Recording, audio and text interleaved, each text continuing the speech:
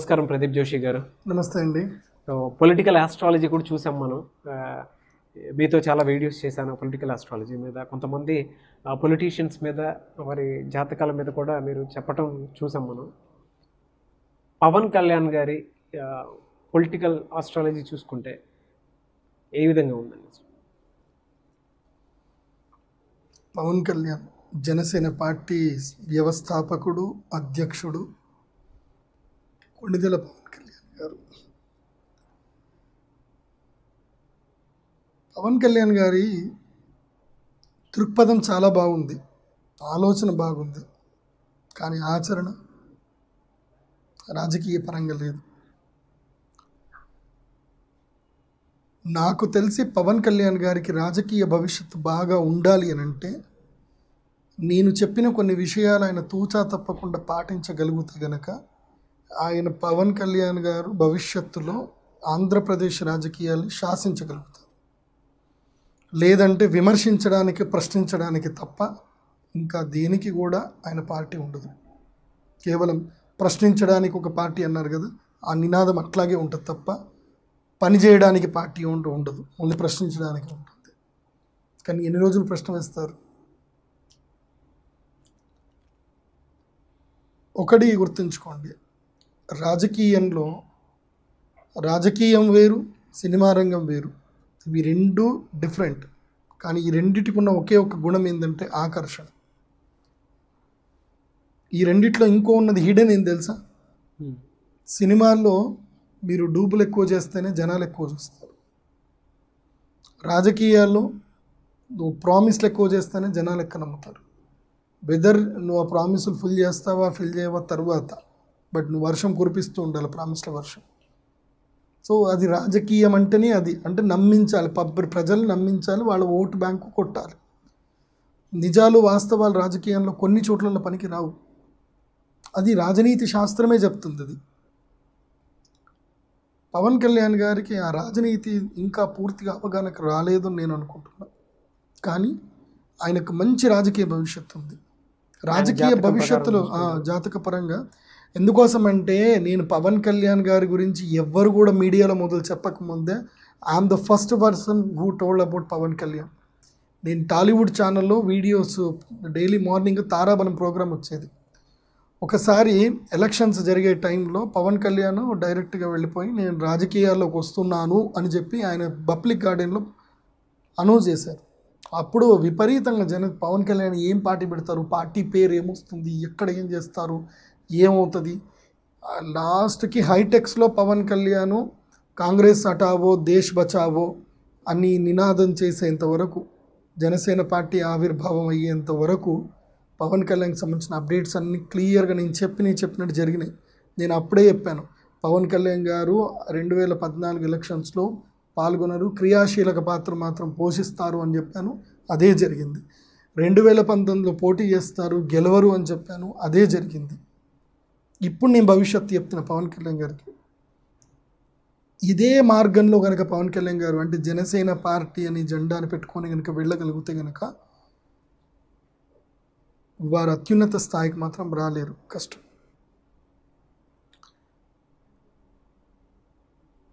Doctor Padma Bhushan Konidela Shivshankar గారు చిరంజీవి గారు వారి జాతకం కూడా నేను అప్పుడే చెప్పాను నేను. చిరంజీవి గారు సినిమాలకు వస్తారా రారా అని చెప్పి చాలామంది అన్నారు. నేను అప్పుడే చెప్పాను. ప్రజారాజ్యం పార్టీ విలీనం చేసేస్తారు. చిరంజీవి గారు రాజకీయాల్లో కీలక రాజకీయాల్లోకి వెళతారు. తర్వాత పదవిని కూడా ప్రాప్తిస్తుంది. పదవి ప్రాప్తి అయిన తర్వాత ఆయన మళ్ళీ సినిమా ఇండస్ట్రీలోకి వస్తారు. ఈ కరెక్ట్గా ఈ రెండు వేల పంతొమ్మిది ఈ టైంలోనే ఆయన సినిమా ఇండస్ట్రీలో ద బిగ్గెస్ట్ హిట్ కడతారు. బాలీవుడ్కి డైరెక్ట్ ఎంట్రీ ఇస్తారు అని చెప్పాను నేను. ఎప్పుడు? రెండు వేల పద్నాలుగులోనే చెప్పాను నేను ఈ మాట. అది ఇప్పటి వరకు టీవీ ఛానల్లో ఉంది. కావాలంటే మీరు చూడొచ్చు. మెగాస్టార్ చిరంజీవి ప్రదీప్ జోషి అని యూట్యూబ్లో సెర్చ్ చేస్తే కనిపిస్తుంది. నేను ఏదైతే చెప్పానో అన్నీ జరిగాయి. ఇప్పుడు కూడా పవన్ కళ్యాణ్ గారి గురించి చెప్తున్నా. పవన్ కళ్యాణ్ గారి జాతకానికి ఇంచుమించు ఆయన సినిమా ఆయన పేరేంటిది? కెప్టెన్ ప్రభాకర్ సినిమా తీశారు తమిళనాడు విజయకాంత్. విజయకాంత్. ఆయన డిఎండిఈకి అని ఒక పార్టీ పార్టీ పెట్టారు. ఏం జరిగింది అని అంటే ఇప్పుడు ఆయన క్రియాశీల రాజకీయంలో ఉన్నారు. కానీ ప్రశ్నించడానికి తప్ప ఆయన రాజకీయ జీవితం ఎక్కడికి లేదు. ఆయన ముఖ్యమంత్రి అవుతాడు అని ఏ తమిళనాడు ఎవరు కూడా చెప్పరు. అప్పటి వరకు ఆయన విపరీతమైన ఫ్యాన్ ఫాలోయింగ్ ఆయనకి. కానీ ఆయన ఎక్కడ ముందుకు రాలేకపోయాడు రాజకీయం లోపల. ఒకప్పటి రాజకీయాల్లో లెక్క లేవు. అప్పట్లో డిఎంకే పార్టీ కానీ అన్నా డిఎంకే పార్టీ ఎట్లా జరిగాయి అని అంటే ఒక మహానుభావుడు ఆ పార్టీని వ్యవస్థాపకరిస్తే అందులోపల ఉండే ఇద్దరు మిత్రులు విడిపోవడం వల్ల జరిగింది. లేకపోతే అప్పటి వరకు కాంగ్రెస్ గవర్నమెంటే వెళ్తుండే తమిళనాడులో. కాంగ్రెస్ గవర్నమెంట్ మొత్తం జరిపి ద్రవిడ పార్టీలు పెట్టి వాళ్ళు అక్కడ స్థాపన చేశారు. ఇవాళ డిఎంకే కానీ అన్నా డిఎంకే ఈ రెండిట్లోనే రావాలి కానీ వేరే పార్టీలు అక్కడ రావడానికి లేదు. అట్లాగే ఆంధ్రప్రదేశ్లో కూడా తెలుగుదేశం పార్టీయా వైఎస్ఆర్సీపీ అని రెండు కీలకమైన పార్టీలు పెద్ద పార్టీలు ఉన్నాయి ఆల్రెడీ. ఈ రెండు పార్టీల మధ్య లోపల ఇప్పుడు జనసేన పార్టీ ఏదైతే కనుక చిన్నగా స్టార్ట్ అయింది కానీ ఇది మహావృక్షం అవుతుందని నమ్మకం లేదు. ఎందుకోసం అంటే మహావృక్షం అవ్వాలి అని అంటే దాంట్లో రాజకీయ నిష్ణాతత చాలా ఉండాలి నైపుణ్యత ఉండాలి చాలా ఉండాలి. దానికి రెండు మార్గాలు ఉంటాయి. పవన్ కళ్యాణ్ గారు జనసేన పార్టీతోటే ముందుకెళ్ళాలి అని అంటే చాలా కష్టం మీద ఆయన రాజకీయ లోపలికి రాగలవచ్చు డౌట్ఫుల్లీ ఉన్నత స్థాయికి రావచ్చు. బట్ ఇప్పుడు కనుక పవన్ కళ్యాణ్ గారు ఒక రైట్ స్టెప్ తీసుకుంటే కనుక ఫర్దర్లో రెండు వేల ఇరవై రెండుకి ఎలక్షన్స్ వస్తాయి గ్యారంటీ చెప్తున్నా. రెండు వేల ఇరవై రెండుకి ఎలక్షన్స్ వస్తాయి. అప్పుడు పవన్ కళ్యాణ్ గారు he will become a home minister either chief minister. కీలకమైన మినిస్ట్రీ పాత్రలో ఉంటారు. ఇప్పుడు నేను చెప్పింది కనుక చేయగలుగుతాను ఏంటన్నా? పవన్ కళ్యాణ్ గారి జాతక రీత్యా ప్రస్తుత రాజయోగం ఉంది కాకపోతే ఆయనకి రాలేదు. కానీ రాజయోగాన్ని రప్పించుకునే ఒక తత్వం ఉంటుంది. ఇప్పుడు కనుక పవన్ కళ్యాణ్ గారు ఇప్పుడు భారతదేశం అంతా కూడా భారతీయ జనతా పార్టీ యొక్క హవా నడుస్తుంది.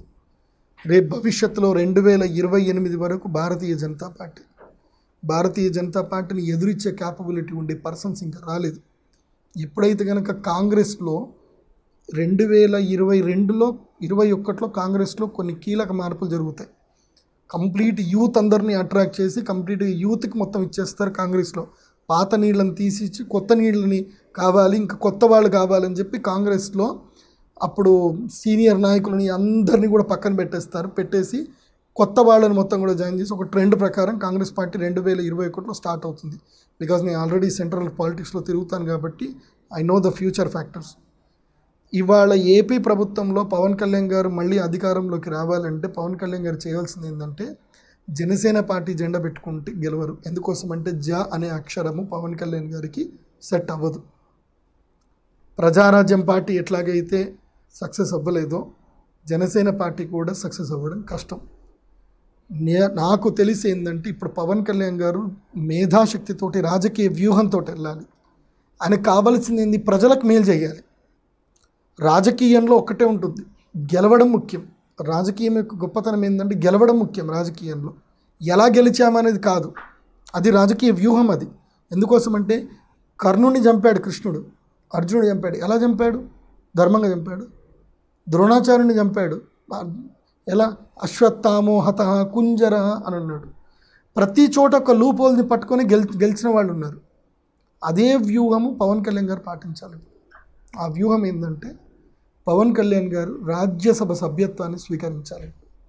ఆ రాజ్యసభ సభ్యత్వం బీజేపీ ద్వారా ఇప్పుడు భవిష్యత్తులో నాలుగు రాజ్యసభ సీట్లు ఖాళీ అవుతున్నాయి. ఆ నాలుగు రాజ్యసభ సభ్యలో పవన్ కళ్యాణ్ గారు ఇప్పుడు గనక రాజకీయ వ్యూహ చతురత గనక చేయగలిగితే గనక Pawan Kalyan will go sit in the Rajya Sabha. అప్పుడు చూపిస్తారు పవన్ కళ్యాణ్ ఏంది అనేది. అధికారం లేని నాయకుడు ఆయుధం లేని సైనికుడు యుద్ధంలో ఇద్దరూ సమానమే. యుద్ధంలో పోరాడాలంటే ఆయుధం ఉండాలి రాజకీయంలో నిలబడాలంటే అధికారం ఉండాలి. ఇది ఏ పవన్ కళ్యాణ్ ఫ్యాన్స్ ఏమనుకున్నా తెలుగు రాష్ట్ర ప్రజలు ఏమనుకున్నా ఇవాళ పవన్ కళ్యాణ్ గారికి మంచే జరిగింది.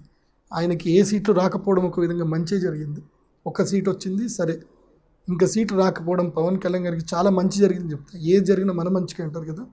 ఇవాళ నేను వచ్చే సలహా ఏంటంటే పవన్ కళ్యాణ్ గారు పూర్తిగా బీజేపీతోటి కలిసి బీజేపీ ఆంధ్రప్రదేశ్ రాష్ట్ర అధ్యక్షుడిగా ఉండి కంప్లీట్గా బీజేపీలోకి వచ్చారు అంటే ఇంకా టోటల్గా భారతదేశంలో ఉండే బీజేపీ మొత్తం పవన్ కళ్యాణ్ గారు వెనుకున్నట్టు ఇప్పుడు ఒక పదునైనటువంటి బాణం మన దగ్గర ఉంటే సరిపోదు. ధనస్సు కూడా ఉండాలి. సో పవన్ కళ్యాణ్ గారు పదునైన బాణమే. ఆయన మాటలు చాలా బాగా మాట్లాడతారు. ఆయనకి మంచి లక్ష్యం ఉంది భవిష్యత్తులో బాగా చేయాలని. కానీ ధనస్సు కావాలి. విల్లు లేనిది బాణం ముందుకెళ్ళదు. సో ఆ విల్లు బీజేపీ పార్టీ. భారతీయ జనతా పార్టీతోటి కలిసి ఇవాళ పవన్ కళ్యాణ్ గారికి నరేంద్ర మోదీ గారు వస్తాను అంటే ఇమ్మీడియట్లీ అమిత్ షా గారు రెడ్ కార్పెట్ పరుస్తారు. పవన్ కళ్యాణ్ గారు జనసేన పార్టీని విలీనం చేసి పూర్తిగా భారతీయ జనతా పార్టీని ఆంధ్రప్రదేశ్లో ఎస్టాబ్లిష్ చేయగలిగితే రేపు భవిష్యత్తులో అధికార పట్టం పవన్ కళ్యాణ్ గారికి ఇప్పుడు రాజ్యసభ సభ్యత్వము భవిష్యత్తులో అధికార పట్టం. ప్రజాసేవ చేయాలి. నేను ఎలా చేస్తున్నాను కాదు. ఇది ఇది రాజకీయ వ్యూహం. చాలామంది ఇప్పుడు నేను ఇది చెప్పగానే కొంతమంది కామెంట్స్ చేస్తారు. నువ్వెవడిరా చెప్పడానికి జనసేన పార్టీ తీసేయమని చెప్పడానికి కొంతమంది అభిమానులు అంటారు.